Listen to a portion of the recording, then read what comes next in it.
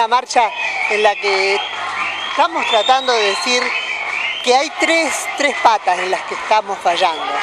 Una es las políticas públicas, otra es la parte judicial y otra es el respeto y los derechos que las madres tenemos que ir inculcando a nuestros hijos para que no crean que los varones son eh, excepcionales. Entonces yo creo que, no tienen que barrer, que no tienen que, limpiar, que no tienen que ayudar. Porque para todos es re común, nena, vos levantás la mesa mientras tu hermano hace cualquier otra cosa. Eso básicamente de la formación, ¿no? Y por otro lado, las políticas públicas es que hay que empoderar a las mujeres de tal manera que ellas eh, tengan un dinero suficiente como para decir basta. Porque quien tiene, no tiene ni siquiera dinero para poder autosustentarse, difícilmente se pueda, ir, se pueda ir lejos del hombre que la maltrata.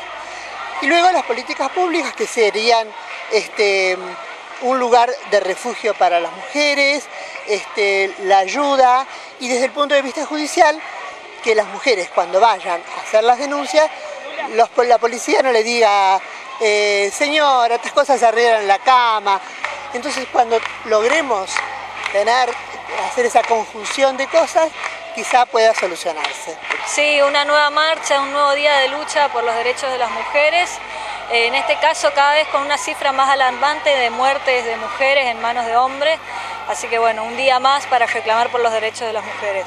¿Crece la conciencia y el convencimiento aquí en San Rafael de la gravedad? Crece, crece la conciencia, así como también se ven con más notoriedad los comentarios fascistas, los comentarios machistas.